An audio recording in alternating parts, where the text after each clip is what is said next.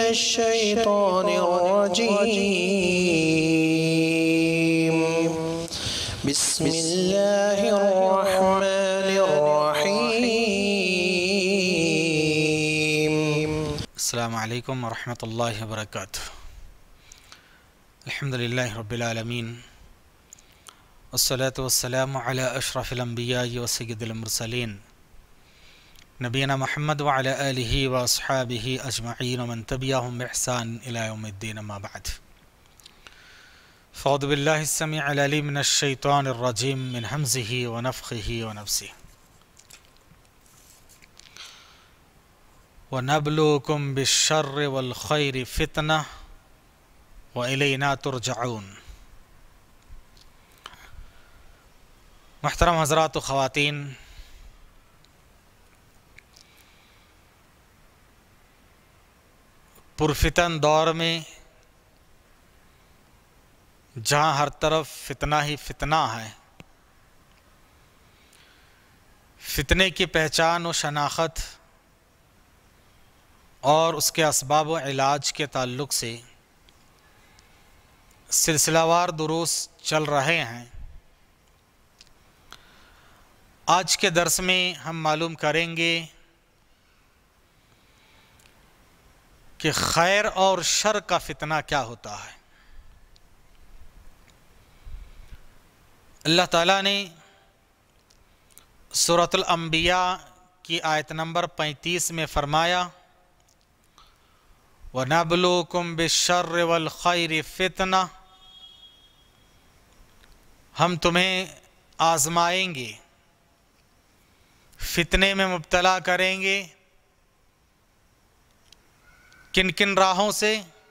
बिशर्र वल खैरी। शर और खैर दोनों रास्तों से, दोनों राहों से फितना। तुमको फितने में दो चार होना पड़ेगा। वह इलाइना तुरजाउन और आखिरकार तुम सब के सब हमारी ही तरफ़ लौटाए जाओगे। हजरात शर और खैर का फितना। शर का फितना तो हमें और आपको समझ में आता है कि इंसान किसी शर में मुबतला है, किसी बुराई में मुबतला है, परेशान हाल है तो कहा जाता है कि बेचारा फितने में मुबतला है, फितने में दो चार हैं। लेकिन खैर का फितना क्या होता है? और ये खैर का फितना, ये बड़ा अहम होता है। क्योंकि लोग बुरी हालतों में अपने आप के बारे में ये सोचने लगते हैं कि शायद मैं फितने में मुब्तला हूँ, आजमाइश से दो चार हूँ, लेकिन जब इंसान खुशहाली में होता है, अच्छी हालतों में होता है, खैर ही खैर में होता है नाजो नम होता है नमतों में पलता है तो उसे ये एहसास नहीं होता है कि मैं किसी फितने में मुबतला हूँ, मैं किसी आजमाइश से दो चार हूँ, उसको एहसास नहीं होता है। तो आइए हम सबसे पहले खैर का फितना मालूम करते हैं कि खैर का फितना क्या है। अच्छाइयों का फितना क्या है। तो उससे पहले आम, हमने इससे पहले के दर्स में ईमान के ताल्लुक से मालूम किया कि ईमान का फितना होता है, ईमान की आजमाइश होती है। तो ईमान ये खैर है और इस रास्ते से भी फितना आता है, आजमाइश आती है। ऐसे ईमान के बाद अमल का फितना। तो खैर के फितनों में से आज का एक फितना जो हम मालूम करेंगे, वो है अमल का फितना। अमल का फितना। हज़रत, अमल का फितना इसका क्या मतलब है? फितना अमल अमल का फितना दो तरह से होता है। पहला, कि आदमी अमल ना करे। बेअमली और बदअमली में मुबतला हो। या तो अमल करे नहीं, या बुरे अमल में मुबतला हो जाए, ये अमल का फितना है। और ये हमें समझ में आता है। ये शर है तो हमें समझ में आता है कि फला आदमी अमल नहीं करता है यह बदआमालियों में मुबतला है, ये शर है, और शर का फितना हमें समझ में आता है। लेकिन एक होता है अमल के फितने का दूसरा रुख, कि अच्छा अमल का फितना, नेक अमल का फितना। और ऐसों के ताल्लुक से अल्लाह ताला ने सुरा गाशिया में फरमाया आमिलतिन्नासिबा आमिलतिन्नासिबा कितने लोग अमल करके भी घाटे में रहेंगे। अमल करके भी थके मांदा होंगे। अमल का कोई सवाब उनको नहीं मिलेगा। अल्लाह ताला ने सूरतुल कहफ के आखिरी रुकू में बयान फरमाया, कुल हल नुनब्बियुकुम बिल अखसरीन अमाला। अल्लदीन फिल दुनिया वहुम यहसबून अन्नहुम युहसिनून सुनआ आए नबी आप फरमा दीजिए क्या मैं तुम्हें ना बताऊँ ऐसे लोगों के बारे में जो लोग अमल करके भी खसारे में हैं नुकसान में हैं वो समझते हैं कि हमने बहुत अच्छा किया है लेकिन उनके इन अमाल का फितना ऐसा रहा कि अमल के फितने की वजह से इनके अमाल बर्बाद हो गए। आमिलत नासिबा।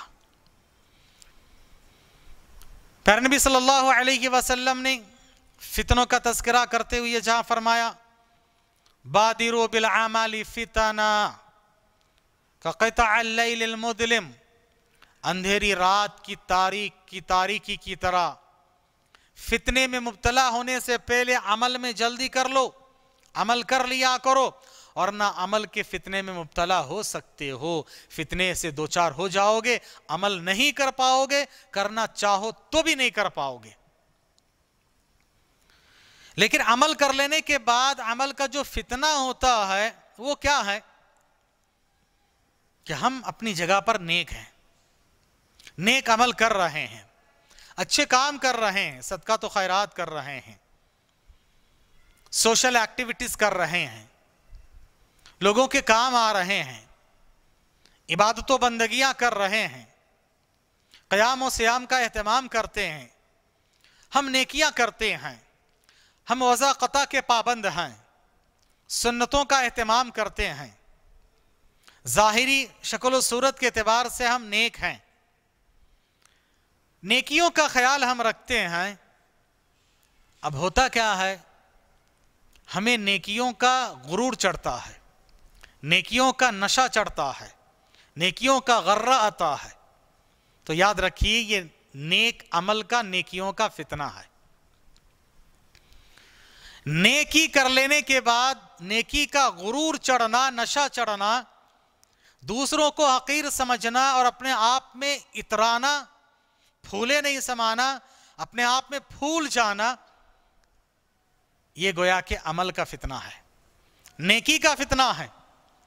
अच्छाई का फितना है ये। नबलोकुम बिशर वल खैरी फितना।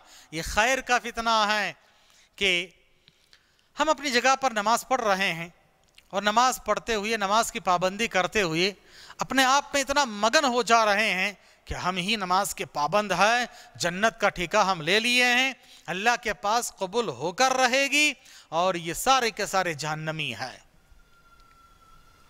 हम सदका तो खैरात करते हैं और किसी और के बारे में ये सोचते हैं, ये तस्वुर रखते हैं, फुला आदमी, वो तो बड़ा बखील है, वो क्या देगा अल्लाह के रास्ते में?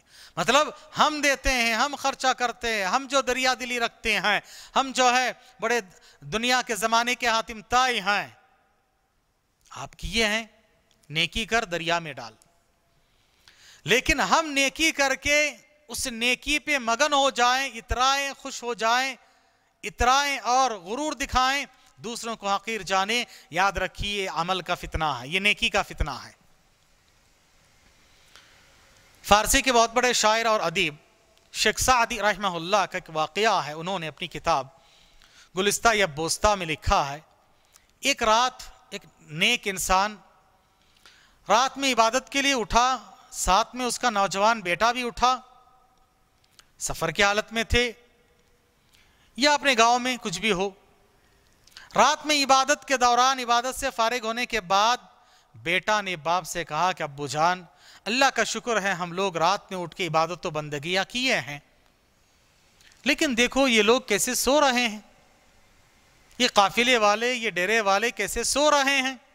या ये बस्ती वाले कैसे सो रहे हैं, इनको तोफिक नहीं हुई? बाप ने कहा कि, बेटा, तुम भी सोए रहते तो अच्छा होता। तुम उठ के जाग के इबादत करके, अपनी इबादत में जो गुरूर में मुबतला हो के दूसरों को हकीर समझे और दूसरों के बारे में गिबत किए हैं। अगर तुम उठ की इबादत ना करते, तुम भी सोए रहते तो बेहतर होता। तुम तो उनसे भी गए गुजरे हो गए। अपनी इबादत को भी गवा लिए और उनके गिबत करने पर तुम गुनेगार भी हो गए। हज़रत, इस वाक़े में हमारे लिए इबरत है। अहले इल्म लिखते हैं अलहसन तुबैन सैतन नेकी दो बुराइयों के दरमियान में होती है। दो बुराइयों के दरमियान में नेकी है। दो बुराई क्या है? या तो नेकी ना करें शैतान, नेकी ना करने का धोखा दे, सुस्त और काहिल बना दे।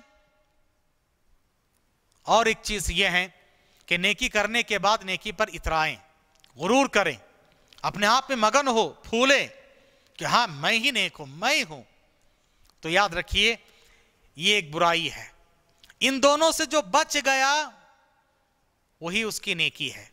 अलहसना तो बैन सैतन शैतान कभी नेकी करने से दूर करता है और कभी नेकी करते हुए भी एक बुराई में मुबतला करता रियाकारी, या उसमें बिदा तो खुराफात अंजाम दे देता। नेकी कर रहा, लेकिन नेकी का रास्ता बिदात का है। तिलावत कर रहा, लेकिन बिदात के रास्ते से। रोजा रख रहा, नमाज़ पढ़ रहा, दरूद पढ़ रहा, बिदात के रास्ते से। तो याद रखिए अलहसन तुबैन सैतन इसीलिए आलिम ये भी लिखते हैं अल ईमान उबैन अलखौफ व रजा ईमान और नेक अमल, ये खौफ और रजा, उसमें उम्मीद भी होती, खौफ भी होता है। और इसी के ताल्लुक से मोमिनों के अवसा बयान करते हुए अल्लाह ने फरमाया यदून रब खौफ व तमा अपने रब को पुकारते हैं, खौफ भी है, उम्मीद भी है।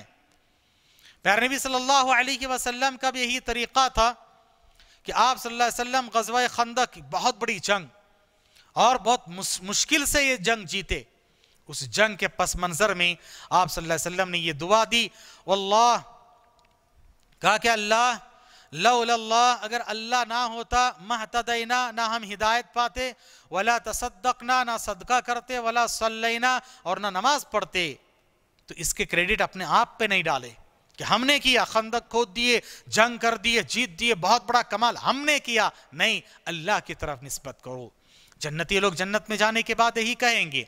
सूरतुल आराफ में अल्लाह ने फरमाया, अल्हम्दुलिल्लाह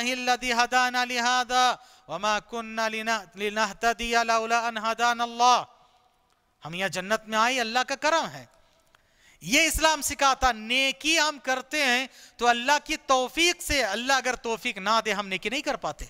कितने लोग ऐसे हैं, नेकी का इरादा करके भी नहीं कर पाते हैं चाहकर भी नहीं कर पाते हैं। नेकी अगर हमने कर ली है तो ये तस्वुर सबसे पहले हो, अल्लाह की तोफीक से हैं। और उसमें डरते रहना, पता नहीं अल्लाह के पास कबूल होगा कि नहीं होगा। खलील इब्राहिम सलाम को देखो, अल्लाह के हुक्म से। अल्लाह के बंदे, अल्लाह के नबी, अल्लाह के घर की तामीर कर रहे हैं। अब बताइए कि इसमें कबूल ना होने का कोई शुबा है? फिर भी अल्लाह से दुआ कर रहे हैं। रब्बना तकब्बल मिन्ना इन्ना का अल्लाह ताला तो हमसे कबूल फरमा ले। यकीनन तू कबूल करने वाला है। अल्लाह अकबर। देखिए रमज़ान में क्या होता है? रमज़ान पाने के बाद सलफ़ सालिहीन एक, छह महीने तक रमज़ान के बाद दुआ करते थे अल्लाह, हमने रमज़ान में जो इबादत बंदगियाँ की हैं, उनको कबूल फरमा ले। हजरात, हमें चाहिए कि नेकी का गर्रा ना हो।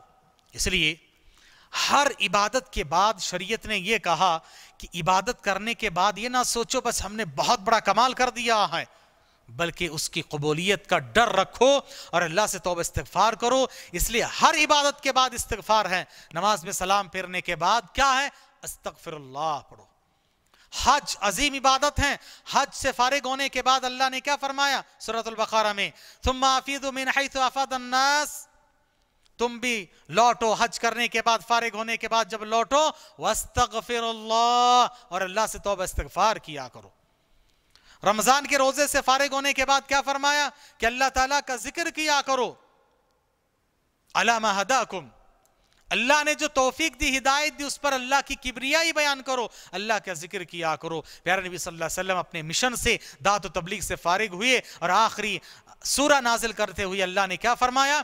बिस्मिल्लाहिर्रहमानिर्रहीम। इदा जा फतह मदद आ गई, अल्लाह की मदद आ गई। फतह और कामरानी, आप कामयाब हो गए। फतह मक्का फतह हो गया। पूरी तरह से आप कामयाब हैं। उसके बाद क्या कहा कि लोग जमात दर जमात इस्लाम में दाखिल होंगे।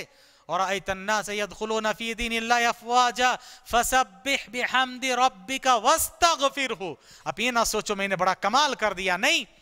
अल्लाह की तारीफ़ और तहमीद बयान करो और इस्तगफार करो इस्तगफार करो। हमें भी चाहिए कि नेकी करने के बाद उसका डर रहे, नेकी के बाद नेकी के फितने में मुबतला ना हो। और नेकी का फितना क्या है? नेक अमल का फितना जो मैं आपके सामने अर्ज़ कर रहा हूँ, वो यही है कि नेक अमल का फितना यही है कि हम नेकी करने के बाद उस पर इतराएँ। इसीलिए अल्लाह ताला ने सूरत मोमिनून में आयत नंबर 60 और 61 में फरमाया वल्लदीना युतूना मा अतौ नेक लोग तो वो हैं जो अल्लाह ने उनको दिया, अल्लाह के रास्ते में देते हैं। वो कुलूब वाजिला। और उनके दिलों में ये डर रहता है। अन्नमिला रब्बिहिम राजिऊन। अल्लाह की तरफ़ लौट के जाना है। अगर ये तसव्वुर हो, फ़ायदा क्या होगा देखो। फ़ायदा क्या होगा? नेकी करने के बाद अगर नेकी के कबूलियत का डर हो तो पिछली नेकी महफूज होगी और आइंदा नेकी की तोफीक होगी। उलाई का फिल खैरात। यही लोग नेकी के रास्ते में आगे बढ़ेंगे।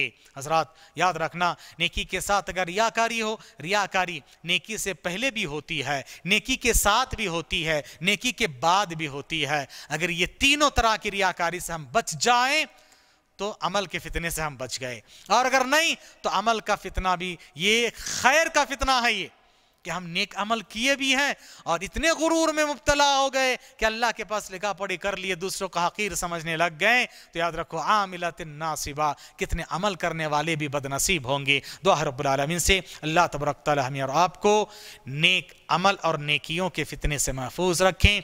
आमीन वाखरुदावा अलहमदिल्ला रबालमीन